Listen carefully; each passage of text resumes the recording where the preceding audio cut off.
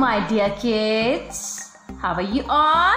Dear children, today we will do the matching activity. In this activity, you have to match each object with its corresponding shape. So, my dear kids, look at the worksheet carefully. You have to see each object carefully and then you have to match. This is the picture of wheel. And do you know what is the shape of wheel? It is of circle.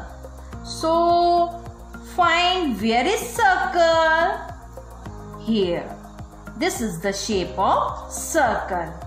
So you have to match wheel with its corresponding shape circle like this. Now the next object is door. This is door.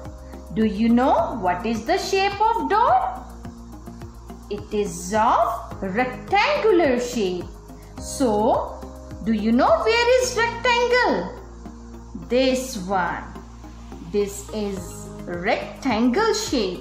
So you have to match the door with its corresponding shape that is rectangle.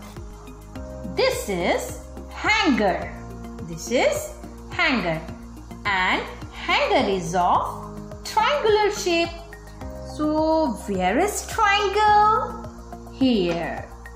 This is triangle. So you have to match the hanger with its shape like this. This is hanky.